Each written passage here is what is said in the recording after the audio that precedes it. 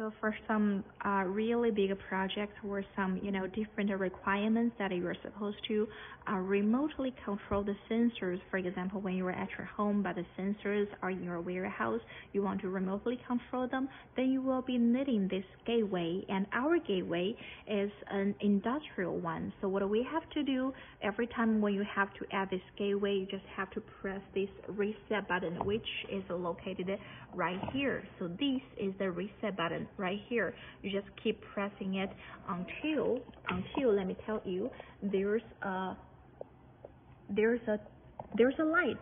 There's a light to show. Okay, we're just going to um, demonstrate from here that I'm just going to press the button, the reset button right here, and you can tell there's a blue light.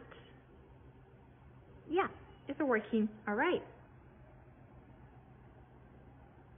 Okay, so we can tell that there's a blue light and then the gateway is becoming available again. So I'm just I'm just going to add from the app.